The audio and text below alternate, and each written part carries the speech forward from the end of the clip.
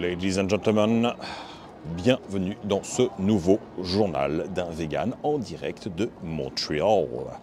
J'espère que vous avez passé une excellente semaine. Pour ma part, eh bien, c'est parti pour de nouvelles aventures qui s'annoncent plutôt, plutôt riches, hein, comme toujours. Je vais avoir plein de trucs à vous montrer.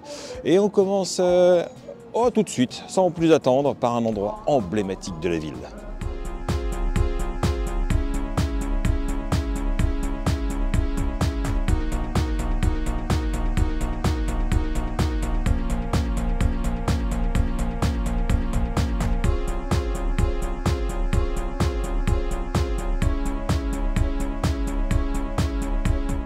Aujourd'hui, je vous emmène au marché Jean Talon. C'est un lieu vraiment emblématique et c'est un, marché avec euh, des fruits, des légumes et autre chose. Euh, mais il est assez emblématique parce que particulièrement bien achalandé avec des producteurs locaux, des prix plutôt bas, de la qualité, du choix, tout ce qu'on aime et c'est plutôt chamarré. Alors ça dépend forcément des saisons.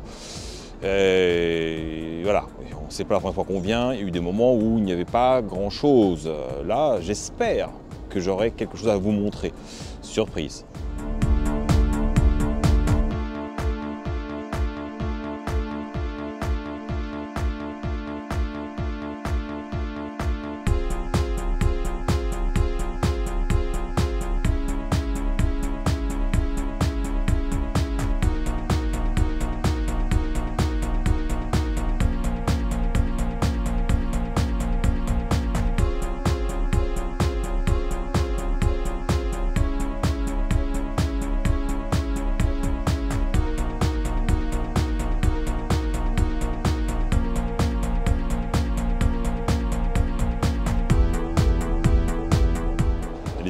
C'est grand, mais c'est pas immense. Vous en ferez quand même vite le tour. Et vous constaterez que les prix sont un peu plus intéressants. C'est pas non plus des grosses bonnes affaires, mais c'est un peu moins cher que ce que j'ai constaté dans les supermarchés. Donc ça vaut quand même la peine pour faire un plein de légumes et de fruits frais. Par contre, ce qui est absolument certain, c'est que la majorité des fruits et légumes viennent du Québec. Il y a très peu d'étiquettes que j'ai vues qui venaient d'un autre pays. Mais alors, quand je dis très peu, même pas 5%. Enfin, estimation à la louche, bien sûr. Bon, quand je vous dis, hein, il y a un côté saisonnier, bah, c'est déjà le moment de choisir son sapin ici. Et ouais.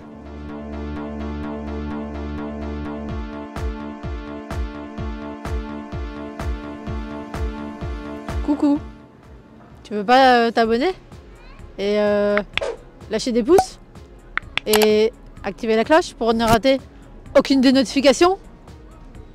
Alors oui, le marché est constitué de choses attendues, mais il y a aussi des petites boutiques en dur tout autour. Et ça vaut le coup d'aller jeter un œil, parce que ça c'est ouvert toute l'année. Et derrière moi justement, il y a un endroit particulièrement intéressant qui pourrait sembler être un truc à touriste, mais ce n'est pas le cas. C'est presque un concept locavore. Euh, c'est un endroit qui ne vend que des choses produites au Québec. Le marché aux saveurs, c'est juste là et c'est vraiment super intéressant. Alors par contre, vous fiez pas sur ces deux enseignes au-dessus, hein, fromagerie, boucherie. De loin, on se dit, bah, j'ai rien à y faire. Oui, oui, il y, a un rayon, mais c'est pas le gros du sujet.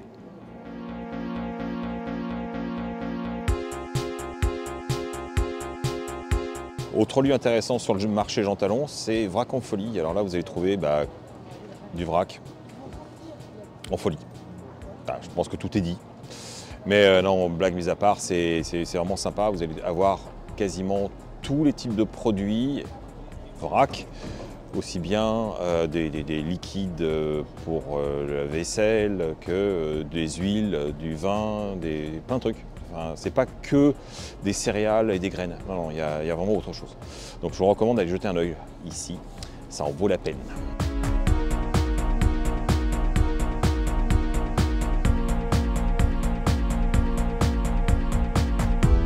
Voilà, on quitte le marché. Bon alors, euh, très honnêtement, même si je trouve que c'est un endroit vraiment super, pour faire ses courses de manière tout à fait normale, euh, si vous venez visiter le marché Jean Talon, ne vous attendez pas à avoir quelque chose d'assez similaire qu'on peut trouver sur les marchés à Berlin ou à Londres avec plein de stands de spécialités véganes, de trucs qu'on n'a jamais vu ailleurs.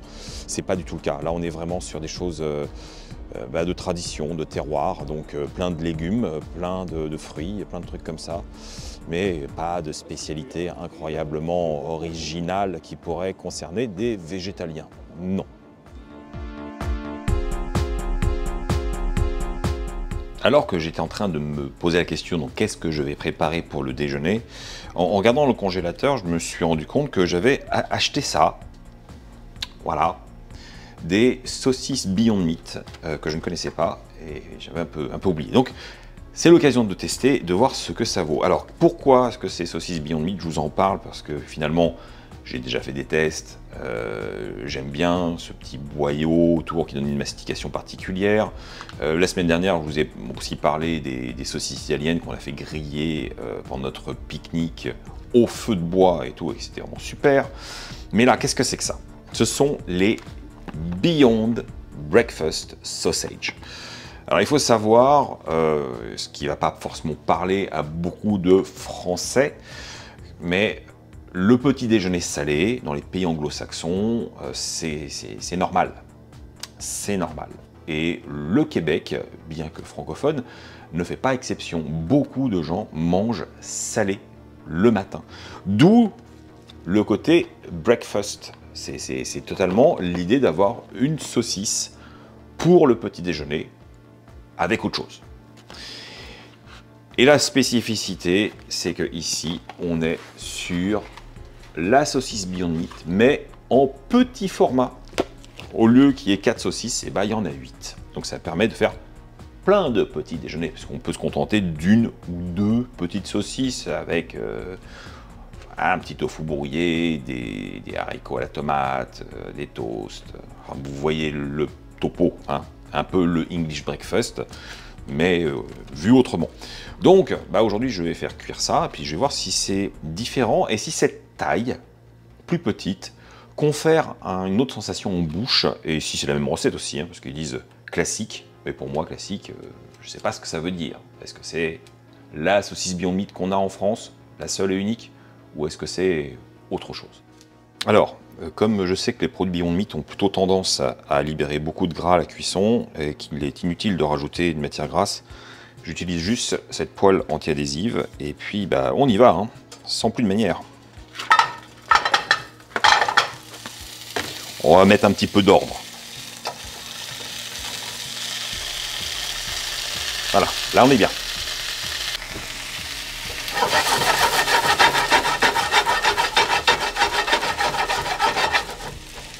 Bah, vous voyez hein, ce que je disais sur la libération du gras, hein, c'est quand même bien brillant. Hein. Surtout, n'oubliez jamais, quand vous travaillez Beyond Meat, ne rajoutez pas de matière grasse. C'est vraiment inutile. Et ben voilà, c'est cuit. Nous y voilà. Elle est belle, elle est belle ma saucisse. Regardez-moi ça. C'est pas mal. Ça a bien tenu la cuisson. Le boyau s'est pas percé. Encore une fois, ça a rendu pas mal de gras, donc euh, toujours ça de moins dans la saucisse. Goûtons à présent.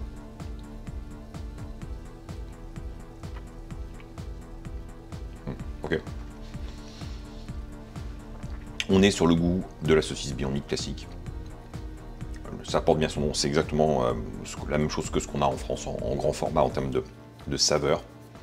Ça a beaucoup de goût, la mâche est agréable, c'est un peu plus dense.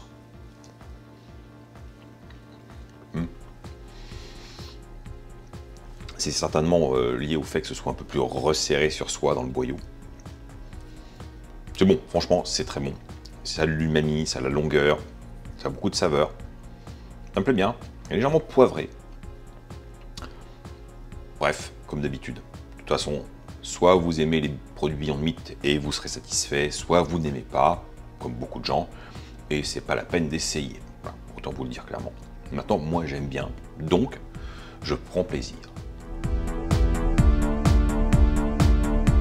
Bon, les amis, soyons sérieux un instant. Euh, ça fait un certain temps que vous êtes euh, un certain nombre à me demander si euh, je pourrais interviewer des, gens véganes intéressants autour de moi, puisque j'en rencontre.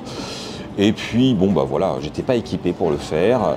Et à présent, j'ai changé de micro. Ça me permet effectivement d'avoir quelques guests. Et ça, ça change tout. Donc aujourd'hui, nous allons entamer cette idée de discuter entre gens bien et pas avec n'importe qui. Comme nous sommes à Montréal, vous aurez certainement compris que mon invité du jour, c'est Jean-Philippe de la cuisine de Jean-Philippe. Bon, bah Jean-Philippe, salut. Ça va? Ouais, on se retrouve encore une fois à Montréal. Au Québec? Bah ouais, ça change de Paris.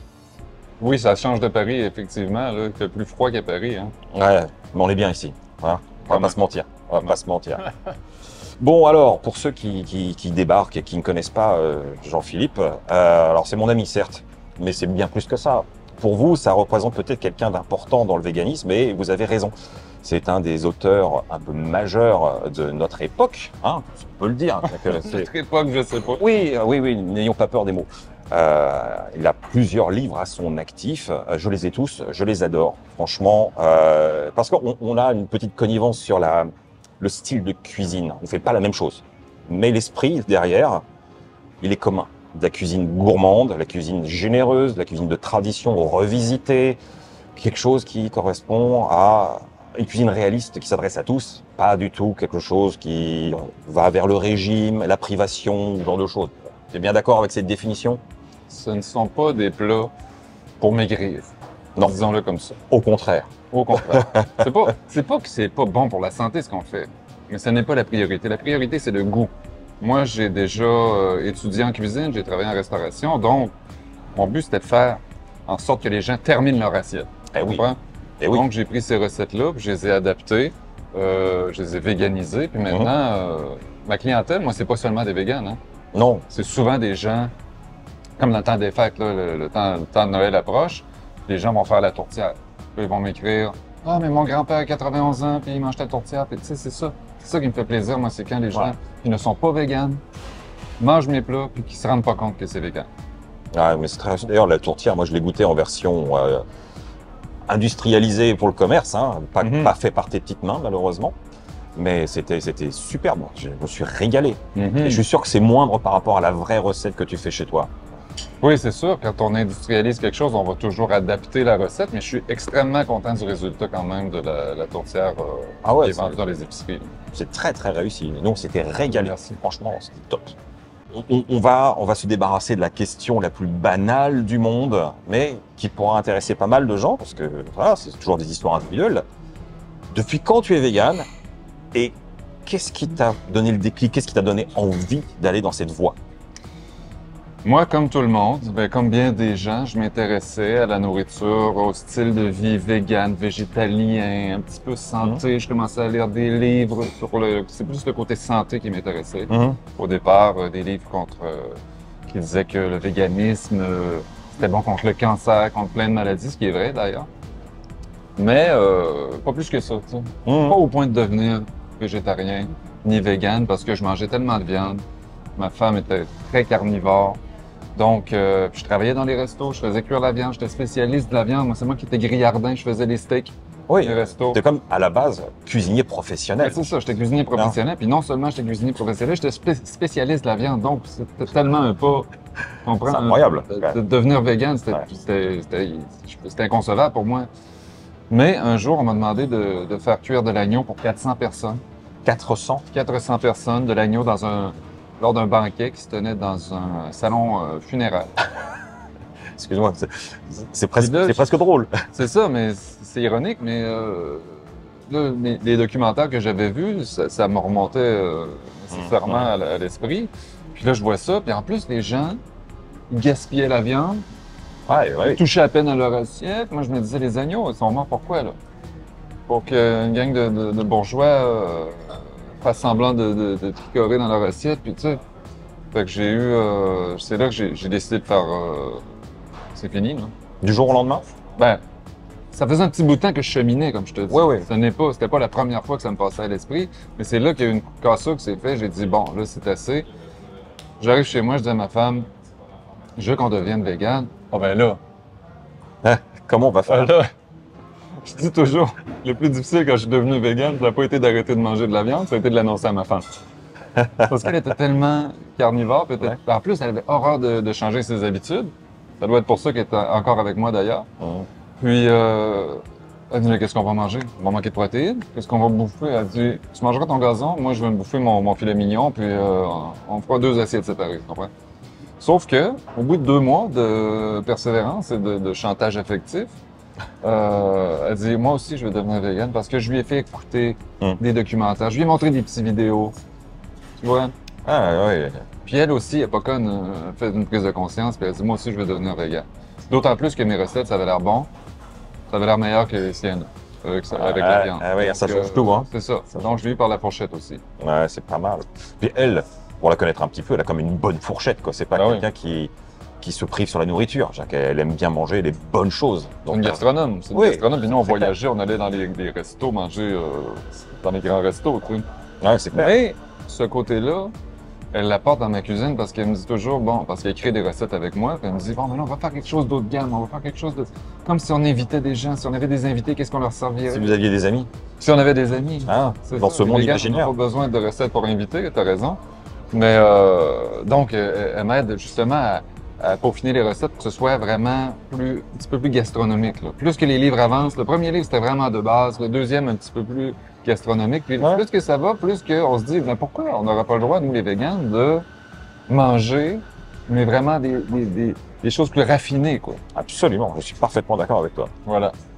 Bon, donc, on, on peut dire concrètement qu'aujourd'hui, euh, oui, bah, j'en ai un peu partout. La moustache. Mais j'a- mais j'assume. Mmh. c'est bon. Mmh. Toute façon, que ce soit une mousse de bière ou une mousse de cappuccino, j'en ai toujours plein la moustache. Je veux dire, on peut dire aujourd'hui que de, de professionnel de la viande est devenu un professionnel de la cuisine végétale à travers quand même beaucoup d'aspects de ton travail, que ce soit euh, les réseaux sociaux, la création de, de vidéos sur YouTube, sur euh, aussi euh, bah, les livres de recettes dont on parlait, mais toute une gamme de produits, de plats préparés qu'on trouve dans les supermarchés, plein de chaînes au, Québec. C'est un sacré, un sacré chemin. Mais aujourd'hui, toi, est-ce que tu as un peu le recul pour savoir qui sont tes clients exactement, quel est leur profil? Euh, Est-ce que tu as majoritairement des, des, des véganes, des végétariens, des flexitariens, des curieux? Est-ce que tu arrives à voir un peu qui, qui s'intéresse justement à, à toutes les sens de ton travail? Il y a un sondage qui a été fait au Canada euh, il y a quatre ans quand même, puis on disait que 50% des Canadiens désirent changer leurs habitudes alimentaires et désirent manger moins de viande. Hum. La moitié de la population désire manger moins de viande. Ça fait que ces gens-là, ils se dirigent vers le tofu Général Tao. Ils se dirigent vers la sauce à spaghetti au tofu de Jean-Philippe.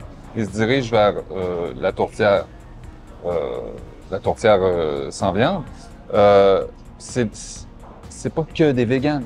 Non, bien sûr. mange mes plats. Les véganes, c'est quoi? C'est 1,5% de la population. Ah oui, c'est comme en France. C'est maigre. C'est ça, c'est, ce serait, euh, c'est utopique là, de penser que tu pourrais euh, vivre euh, de ça si tu t'adressais simplement Ouais. au vegan. Mais la plupart des gens, c'est des curieux. Puis il y a beaucoup de gens qui mangent la viande, mais vraiment à l'occasion. Hein. Ouais. Il y a souvent des gens qui viennent me voir et me disent, oh monsieur, hein. ils ont peur que je les batte. Hein. Quand ils me disent, on n'est pas vegan, nous, on n'est pas vegan. Ah oui, Ils, oui. ils sont toujours là, je m'excuse, je m'excuse, mais ils disent on mange, de la viande quoi une fois par semaine. Bon, ben, c'est déjà mieux que Ah, c'est c'est le la principe. majorité de la population. Euh, Mais c'est le principe euh, flexitarien en fait. c'est ça. Fait que ces gens-là, quand ils mangent pas de viande, faut qu'ils mangent quelque chose. Tu comprends? Ah ouais. Fait que, euh, ils, ils mangent euh, des produits véganes. Ah, mais c'est un petit peu aussi mon, mon observation en France. C'est qu'aujourd'hui, euh, il y a une très très forte évolution de, de l'offre de, de produits euh, véganes dans les supermarchés de, de tout le monde, hein, hors des épiceries bio et compagnie. Mais ça s'adresse pas à nous véganes. Ça s'adresse à tous les gens qui veulent réduire la viande et qui veulent des alternatives crédibles et, et qui fonctionnent dans leurs habitudes. Et ça change rien. Et, et c'est pour ça que le marché il est florissant, c'est qu'il y a de plus en plus de monde qui réduisent leur consommation. Alors pour nous, ce sera peut-être insuffisant en termes éthiques, mais en termes de marché, c'est eux qui sont porteurs, à mon sens, d'une certaine économie qui fait que le végétal est en, en- en- en hausse en termes d'offres et parce que la demande, elle, elle est là, quoi. Ben oui, puis tant mieux. La personne, si elle mange pas, si elle mange du tofu ou du tofu, comme vous dites chez vous, elle mange pas de poulet, elle mange pas de porc, elle mange pas de bœuf. Tu comprends? C'est là, c'est comme ça que ça commence, c'est comme ça que le mouvement grandit. Puis faut, c'est générationnel, c'est générationnel Ouais. aussi, hein, l'alimentation. Euh, plus que les gens sont, sont jeunes, plus qu'ils ont tendance à être véganes, plus qu'ils ont tendance à être végétariens. C'est vrai. Euh, plus qu'ils sont éduqués, plus qu'ils ont tendance à être vegan, plus qu'ils ont tendance à être végétariens. C'est pour ça que quand on voyage, quand on va à Boston, tout autour de l'université Harvard, il y a plein de restos vegan. Hum. Parce que quand il y a une université, il y a plein de restos. Vegan. Parce qu'il y a une jeunesse. Ben oui, c'est ça, le- c'est- Ouais. comme ça que ça va progresser. Bon, là, j'ai une question, moi, qui me tient particulièrement à cœur parce que quand je voyage, moi, j'ai plus tendance à rechercher la, la tradition locale, végétalisée. Et donc, de ton point de vue, la, la cuisine québécoise, est-ce qu'elle est entièrement végétalisable ou, au contraire, il y a, il y a des trucs, c'est impossible et ça t'a déjà posé problème? La cuisine traditionnelle de plusieurs pays, elle est déjà végétale. C'est-à-dire qu'au Québec, il y a les fèves au lard. Ouais. Fèves au lard, il n'y a pas beaucoup de lard, là. il y a un petit peu de lard. T'enlèves le lard, c'est des fèves, c'est des Ah ouais. tu comprends? Euh, moi, ma grand-mère, elle faisait des, des espèces de bouillies de légumes. La viande, c'était pour aromatiser. Tu comprends? Il était pas riche, il mettait un petit peu de bœuf haché, Ouais. des patates, des carottes, puis il y avait à peine de la viande, quoi. Ça fait que si tu remplaces euh, la protéine par des protéines euh, végétales, par des pois chiches, c'est facile de véganiser. Ouais, Maintenant, avec les substituts de viande comme Beyond Meat, comme Impossible, ouais, ouais. tu peux faire euh, n'importe quoi. Tu peux faire des burgers, tu peux faire... Ah, T'es quand même limité à le, le remplacement de viande hachée.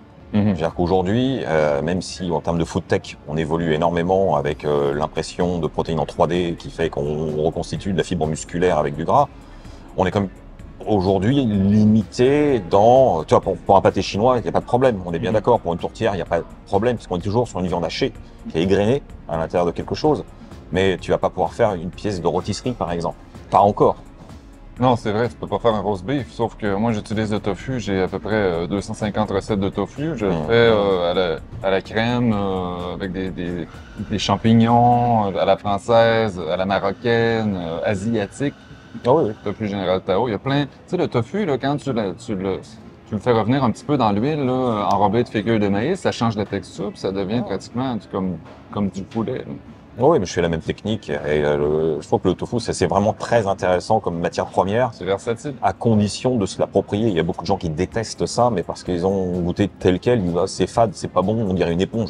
Oui, c'est vrai. Euh, je pense que c'est comme euh, un morceau de, de- de viande crue, quoi. C'est manges du poulet cru, euh, non seulement tu vas avoir la diarrhée, mais euh, tu, vas, tu vas souffrir. Là. Ouais, ouais, ça va pas être agréable. hein, ça va pas être agréable du tout, c'est sûr. Bah heureusement, la poutine végane, ça, c'est toujours possible. Voilà, voilà. Euh, alors pour ceux qui, qui auraient suivi euh, nos aventures il y a quelques années au Festival Vegan de Montréal, Mhm. on avait fait une, une battle food entre nous deux à qui aurait la meilleure poutine. J'avais osé en terrain québécois venir défier Jean-Philippe sur ce, sur ce sujet. Mais le jury était corrompu, donc euh, Mais il a gagné. ta poutine. C'est vrai que Ah j'avais payé, euh, j'avais payé les, les jurys. Ouais, ouais, moi je suis resté honnête. Qu'est-ce que vous voulez? Bon, restons sur une question un peu, un peu locale. Est-ce que toi, tu as le sentiment que le véganisme s'installe au, au niveau des, des mœurs québécois? Est-ce que ça, ça pénètre un peu plus la société ou ça reste vraiment quelque chose de marginal? Mais je crois qu'il y a 15 ans, il y avait peut-être 5 restos vegan à Montréal, puis là, je pense qu'il y en a 85.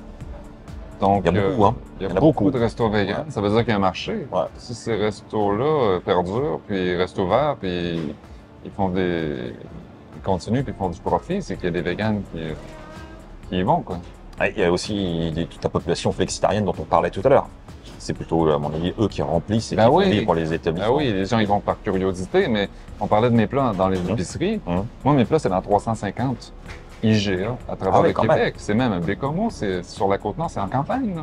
Ouais, ouais, c'est facile. c'est pas qu'à Montréal. Hum. Ça, fait que ça veut dire qu'il y a beaucoup plus de gens qui s'intéressent à, à la, à la nourriture végane, même en région. Puis je pense qu'il y a 50 sortes de fromage à l'épicerie. Beaucoup de choix. 50. Beaucoup de choix. ouais. Poutine, pizza, râpé, euh, bleu, euh, brie. euh, il y en a de toutes les sortes. Il y a des gens qui les achètent, ces produits-là. Il y a des gens qui les achètent. Je te posais la question parce qu'effectivement, moi, en tant que, que- que visiteur, et quand même je fais mes courses dans les supermarchés comme tout le monde quand je suis là, j'ai remarqué que dans n'importe quel supermarché standard, hein, on trouve beaucoup de simili carnés, euh, des choses même euh, locales, c'est le Gusta. Gusta est incroyablement bien distribué. Euh, les vieilles marques comme Yves aussi, qui sont là depuis très longtemps. France, je pense. Hein? Bah, ça commence, mais c'est maigre. Tu vois, tu parlais des fromages. trouver un fromage végétal en supermarché en France, c'est difficile. On a, on a Violife, on, Ben, a, on a de la misère à trouver du tofu. En France, quand j'étais allé, euh, c'est difficile. Alors que là, on va dans n'importe quel endroit, on trouve euh, 5, 6 variétés de, de, de tofu euh, aromatisés, nature, avec différentes euh, textures, du extra ferme, des gros packages. Euh, hier, j'ai acheté un kilo de 1 kg 5, je sais plus, de tofu pour euh, 4 dollars. ah oui, Tu vois, en face, hein, le magasin en face. Et tu dis, waouh, euh, c'est un, rêve. Il y a même du tempeh, quoi. Et et il y a même du tempeh en supermarché, tu as parfaitement raison. Euh, en France, j'en avais cherché du tempeh, j'avais une, démonstration. Ouais. Puis euh, j'avais appelé Hum. à l'avance pour dire si vous avez du tempeh, gardez-le moi, j'arrive. Ah, J'arrive. Puis la fille, elle s'était bidonnée. Elle avait dit écoutez, monsieur, inquiétez-vous pas, on vendra pas de tempeh d'ici une demi-heure. non, non, On en vend déjà pas, là. non, non. En fait, tu trouves ça uniquement dans les magasins bio et dans quelques magasins vegan, mais en, en grande surface, pas du tout. Voilà. Jamais. Alors, on va pas se mentir, de- depuis euh, quelques temps, tu es quand même beaucoup moins productif sur YouTube, je trouve. Moi qui, te, qui suis abonné. Bah, D'ailleurs, abonnez-vous aussi euh, à ma chaîne, à sa chaîne. Abonnez-vous, c'est bien. Abonnez-vous sur YouTube, sur Facebook, sur, euh, Partout. sur Instagram, sur. euh, Partout. C'est une très bonne manière de soutenir les créateurs de contenu, on ne le répétera jamais assez. Mais bon, c'est pas forcément le sujet. Moi, je remarque que tu bosses moins sur YouTube. Alors, je suis un peu frustré. Par contre, par contre, j'ai remarqué que sur Instagram, alors là, les stories, c'est ton truc. C'est une avalanche de stories tous les jours.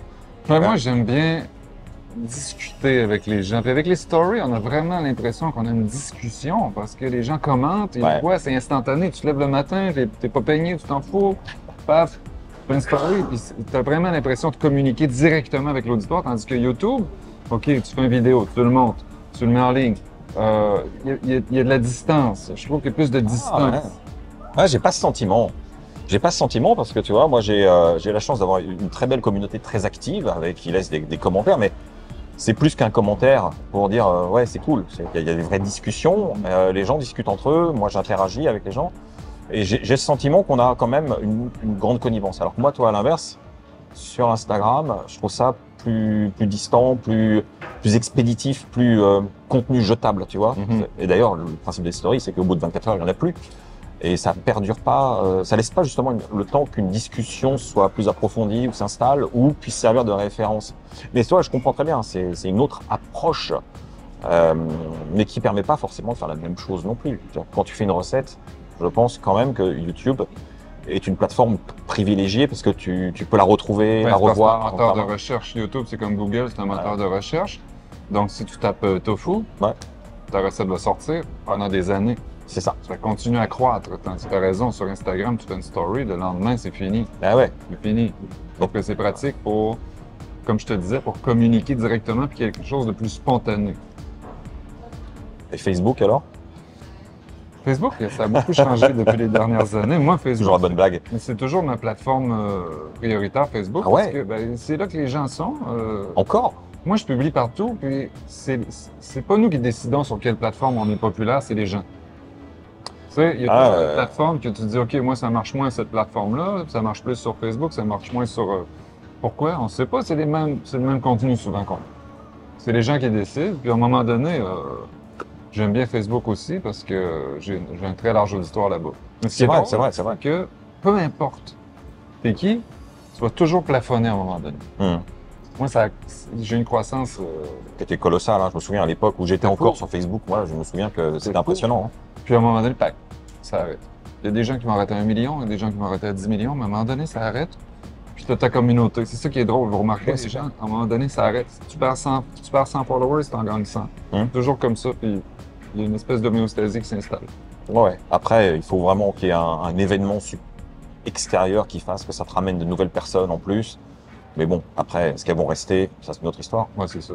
Mais faut C'est- pas, faut pas devenir fou non plus avec les chiffres, Non. avec les followers, puis avec les sites. Puis moi, je regarde à peine. euh, Moi non plus. c'est ma femme qui sait combien j'ai de followers. Puis des fois, elle me dit Hey, t'as perdu 1000 personnes, qu'est-ce que t'as fait Ouais, mais alors, c'est pareil. C'est C'est plus Laura qui regarde moi mes statistiques euh, en, en me disant des trucs que moi, parce que finalement, j'ai absolument pas envie que les chiffres dictent ma créativité, moi, sp- spontanéité. J'ai pas envie de faire du contenu dicté par des tendances. J'ai envie qu'on reste euh, authentique comme on est. Ben, c'est ça qui est dommage avec les médias sociaux, c'est que les gens font des trends. Avec TikTok, bon, tu as une recette de pâtes avec euh, du feta, il y avait ça euh, l'an dernier. Ouais. Tout le monde dit bien faire la même chose. Ouais, c'est la Ouais. copie de la copie de la copie. de, de- de refaire euh, la même chose qui était fait 1500 fois? Ça sert à rien. Moi, je veux, je veux quelque chose d'original. Bon alors au- au-delà des, des- des- des réseaux sociaux, d'internet, euh, tu organises de plus en plus d'événements en fait, des, des rencontres physiques entre les gens. Euh, J'ai vu que tu faisais des campings, des, des, des meet-up, des, des restos euh, avec plein de gars autour de la même table. Enfin, c'était vraiment de plus en plus à, la rencontre des gens pour un, échange de convivialité et peut-être aussi créer une sorte de, communauté réelle. Est-ce que euh, est-ce que tu as l'impression que c'est la voie nécessaire de passer du virtuel au réel comme ça? Ben, tu l'as dit, hein, tout est virtuel maintenant. Donc, euh, surtout quand euh, on parle de véganisme, les véganes, on n'a pas d'amis, on n'a que des amis virtuels. J'ai dit, pourquoi pas organiser un petit, un petit meet-up? Pas pour euh, me mettre en valeur ou euh, venez, venez me rencontrer, mais Non. plus un souper. Euh, J'ai dit, on va organiser ça avec des hommes parce que les mecs, véganes, il n'y en a pas beaucoup. C'est souvent, euh, c'est- souvent ambigu de dire que t'es vegan quand t'es un gars. C'est que c'est comme, euh, tu sais, Ah, il y a encore cette histoire un peu de virilisme euh, par rapport à. Il y a des gens qui travaillent dans des milieux non conventionnels, des milieux conventionnels, masculins, qui Ouais. arrivent là avec leur tofu, puis... Euh... Fait que j'ai dit, on va organiser un petit euh, meet-up, on était une trentaine. Donc, euh, ça m'a donné le goût d'organiser d'autres trucs. J'ai dit, j'aime bien faire du camping. J'ai organisé un camping vegan. Dit, ah, pour le fun... Et tu chantes. Faire du camping. tu de la guitare. pour du feu. Incroyable. On était 85, 80. 80 en camping. Ah ouais, ah ouais. Le groupe Camping Vegan Québec, si vous voulez vous inscrire. Camping Vegan Québec, si vous aimez le camping. On est rendu 650. Là, j'organise ouais. un party de Noël à Québec, un party de Noël à Montréal. Euh, c'est complet, ça s'est rempli en deux heures. Il y a Donc beaucoup il y a une de- demande. Il y a vraiment une Les demande. gens ont envie de se rencontrer. se rencontrer. Ouais. Puis, euh, je trouve ça bien parce que tout, tous entre véganes. euh, Puis en camping, j'ai remarqué que les véganes sont sympathiques, Ah sont bon en forme Oh, sont en forme. Ils sont On pas tout faire la randonnée. Tout le monde a fait la randonnée de 2-3 heures de temps. Euh, non, il n'y avait pas de clichés. Il y avait toutes sortes de monde, de toutes sortes de milieux. Tout le monde s'est bien entendu. Mhm. Euh, non, c'est vraiment c'est fascinant. Puis moi, j'aime ça rencontrer les gens parce que, comme tu dis, on est souvent, en tant que créateur de contenu, on est tout seul. hein. Ouais. Ouais. On va pas au bureau. euh, non, on est chez soi puis on fait nos trucs. Ça fait que c'est bien de rencontrer des, euh, des gens aussi. Ouais, c'est sûr. Mais est-ce que tu penses qu'on peut parler vraiment d'une communauté qui est soudée ou plutôt euh, d'éléments individuels qui ont envie de rencontrer des alter égaux Ben, c'est comme euh, un club pour faire de la motocyclette, quoi. Tu comprends? Mon père, il avait un club de moto quand j'étais jeune. C'était des mecs de tous les, tout azimut, là, de tous les milieux. C'est des gens qui aimaient se rencontrer autour d'un thème. Mais quand on fait, on se, ré- on se réunit en, en tant que vegan, on ne parle pas seulement que de véganisme. Bah, heureusement. Euh, on parle de plein de trucs, mais je dirais de, de tout sauf de véganisme. Et ce qu'on a en commun, c'est qu'on mange tous euh, vegan ensemble. Oui, parce que tu as une sorte de normalité. Donc, voilà, c'est- plus quelque chose à, à débattre réellement, en fait. Puis les gens, ils aiment ça, se retrouver avec d'autres véganes. Ils trouvent ça extraordinaire qu'il y ait 80 véganes ensemble. Je suis pas tout seul, parce que ces gens-là sont tout seuls dans leur famille à Noël, la plupart du temps. Euh, t'es, t'es marginal. Il y a 1,5% de la population Ouais. qui est végane. T'es marginal partout. Donc là, t'arrives et t'es la norme. C'est fou, là. Oui, oui, c'est clair. Tu crées une bulle. Voilà. Ouais, c'est cool.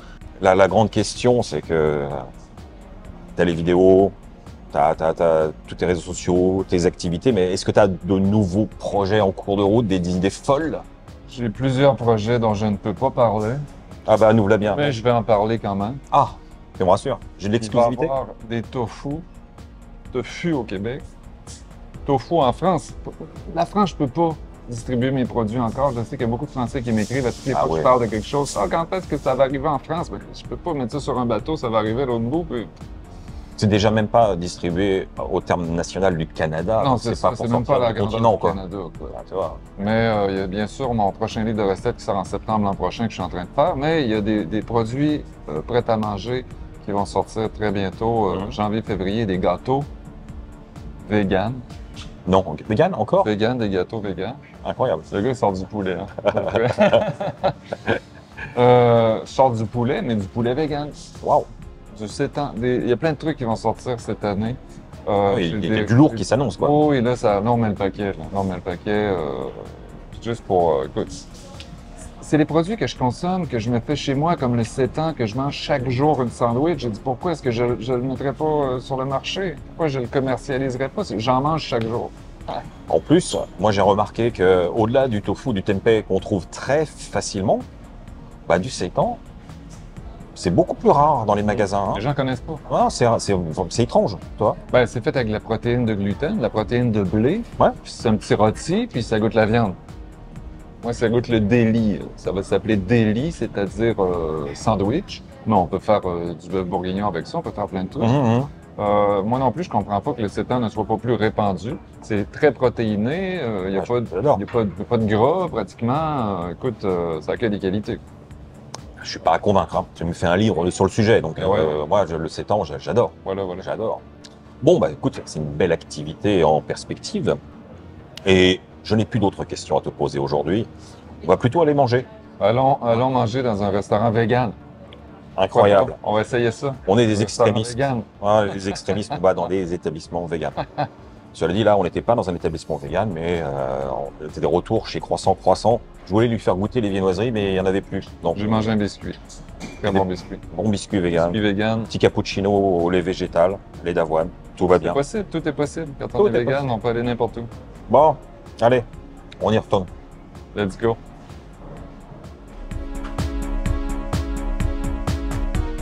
De course et je voulais juste vous montrer un petit produit que, j'aime beaucoup.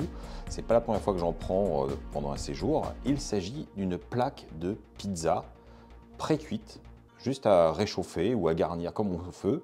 Et je trouve ça assez surprenant parce qu'on en trouve quasiment partout, dans différentes tailles. C'est pas très cher. Là, la très grande plaque, euh, elle est à, à peu près 8 dollars. Et c'est un truc qu'en France, on n'a pas du tout. Eh, je vous montre, vous allez voir. Voilà, c'est Rustica.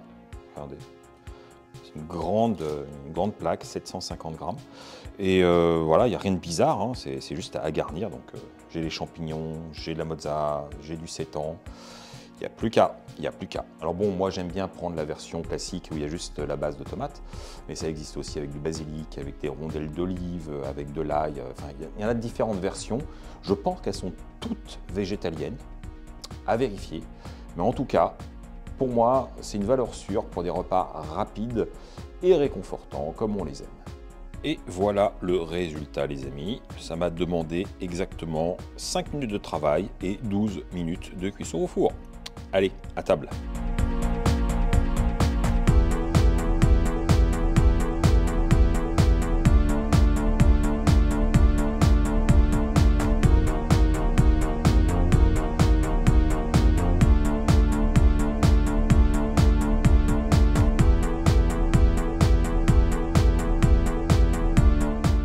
Les amis, euh, eh bien on recommence.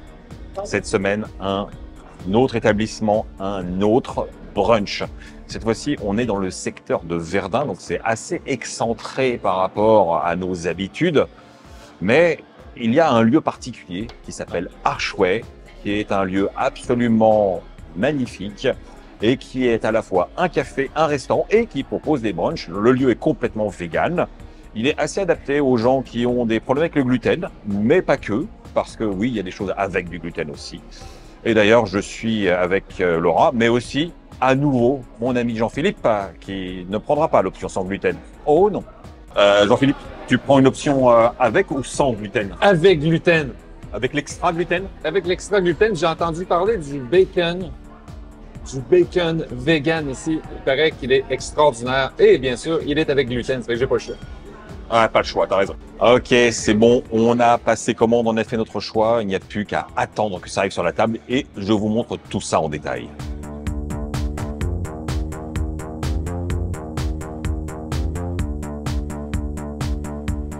Ça y est, on est servi. Alors moi, j'ai pris ce magnifique euh, sandwich déjeuner avec les potatoes.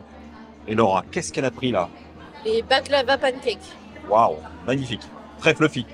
Et Jean-Philippe, qu'est-ce que tu as pris? Les œufs bénédictines avec du, du fruit jacquier, du jackfruit. Ah ouais, quand même. Ok, alors pour commencer, euh, je vais me faire un smoothie. Et j'ai pris celui-ci qui s'appelle le Twix Protein, euh, où il y a de la protéine, du beurre de cacahuète, du lait d'amande, des éclats de cacao. Ah, c'est, ça a l'air riche. C'est pas mal, hein. C'est pas mal du tout. C'est marrant, la, la- la paille est dans une matière euh, non plastique, mais c'est pas du papier non plus. Je sais pas ce que c'est. Bon, normalement ça fonctionne, ça fait son boulot.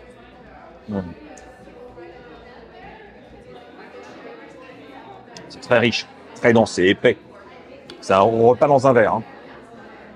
C'est très bon. Franchement, c'est très très bon.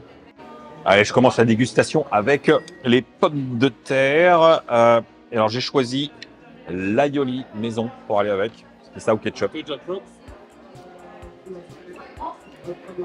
Hmm. Alors, c'est marrant. L'aioli, elle a presque un goût du fromage tartare, ail et fines herbes. C'est bien salé. Les pommes de terre sont très bonnes, bien croustillantes, moelleuses. Ok, maintenant on va passer aux choses sérieuses. Alors voyons ça. A quand même du bacon et un œuf dit coulant. Alors je sais pas si ça va couler, on va voir. Et c'est parti. C'est beau, hein C'est beau.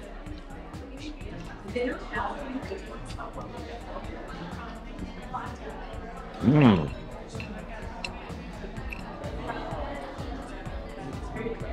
C'est pas mal du tout. Hein. Mmh. Déjà, le petit bun, il est bien brioché, très agréable. Bonne texture. Et j'ai l'impression d'avoir du blanc d'œuf avec ce jaune coulant. Alors, j'ai pas forcément le goût de l'œuf, mais j'ai la texture en bouche. Et c'est plutôt bien.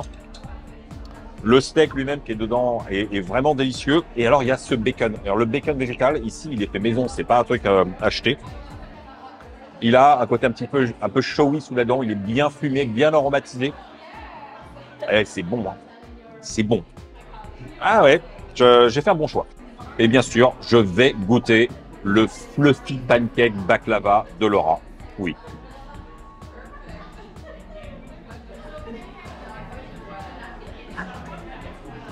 Ah oui. Alors on sent bien le côté fruits rouges. On sent bien le côté moelleux. Et je suis assez impressionné parce que c'est du sans gluten, pour le coup. Et ça fonctionne plutôt pas mal. C'est très bon. Et il y a ce goût de un peu de fleur d'oranger, de pistache, voilà, le côté baklava qui était annoncé. On le ressent bien. C'est original et c'est délicieux. Mais je vais retourner vers le salé parce que c'est plutôt ce dont j'ai envie. Non mais regardez-moi ce bacon. Il est pas mal, hein. visuellement c'est très réussi. Je peux vous dire en bouche, c'est très très bon.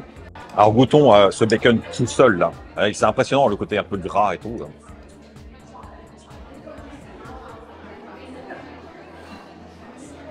Il y a le côté fumé vraiment intense.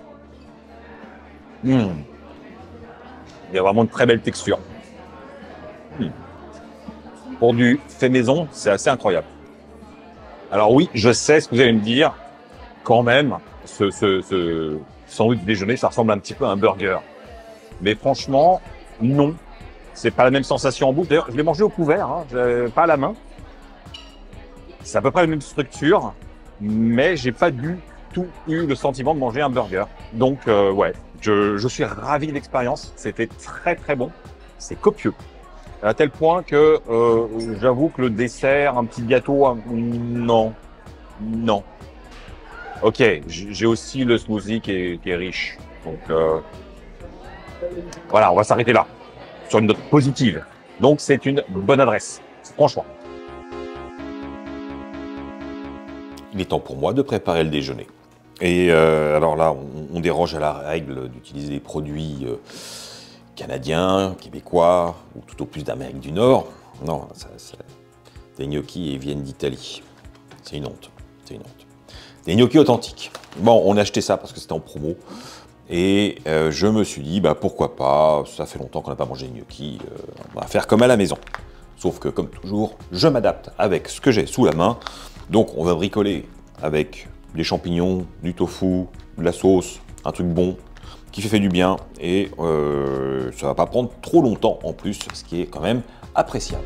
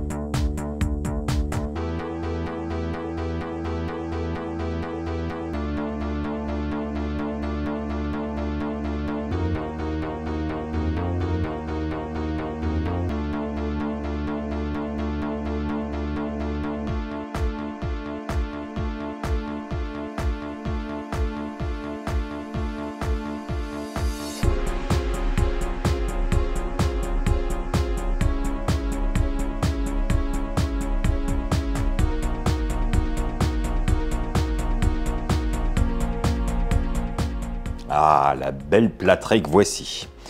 Ça a l'air très bon, hein, comme quoi, avec les trucs que j'ai sous la main, j'arrive encore à concevoir des choses qui me donnent envie. Voyons.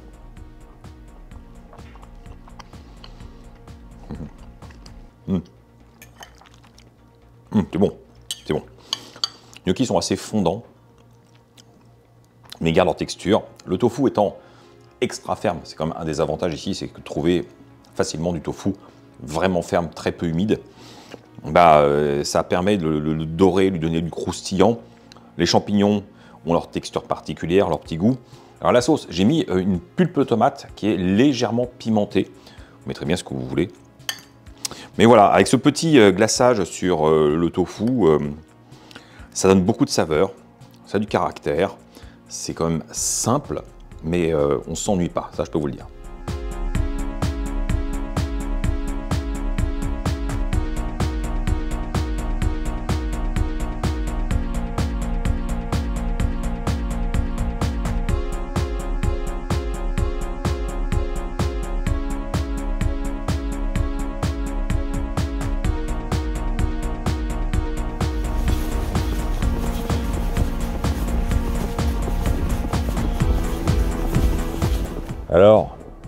Bien là, à la fraîche.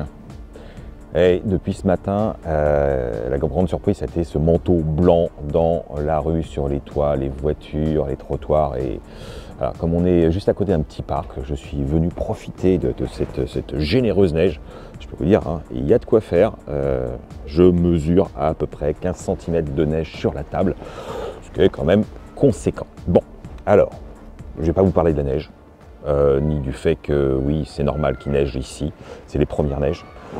Je vais plutôt vous parler d'un truc important, euh, parce que problématique à mon sens de français, c'est la question des pourboires ici.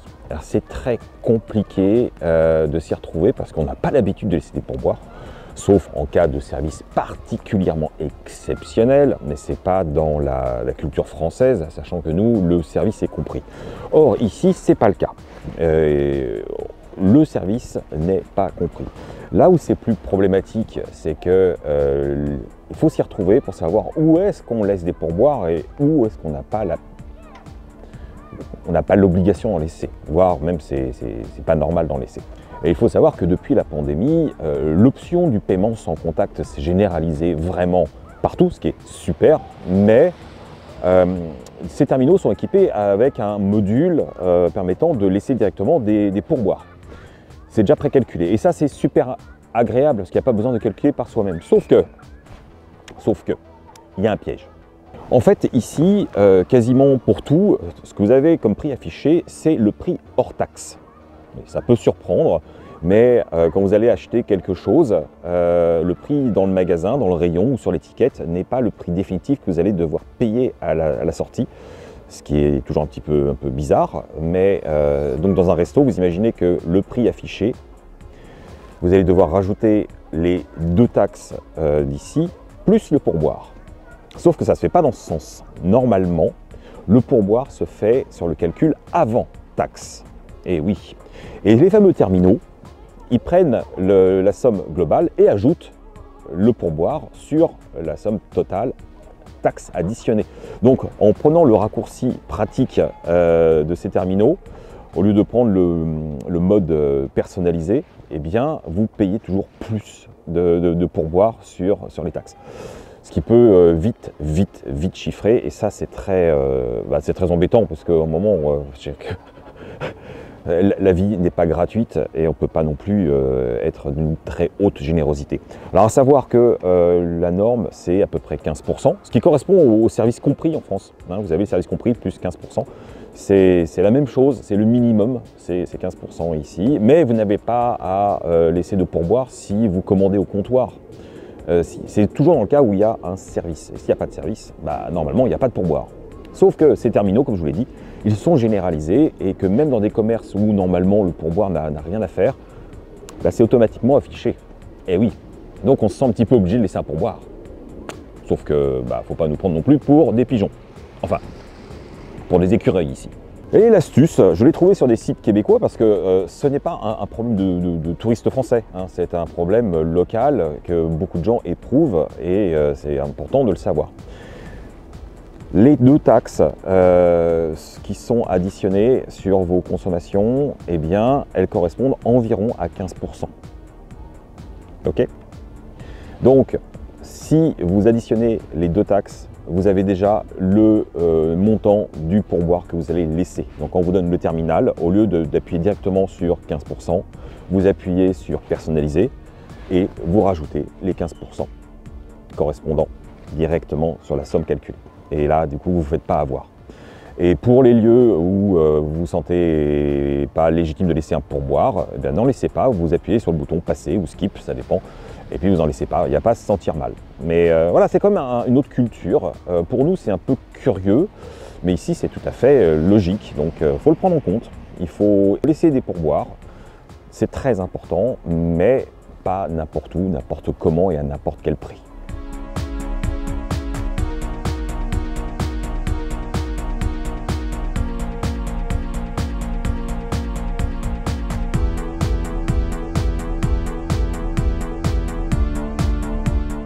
Et voilà les amis, c'est une fin de journal.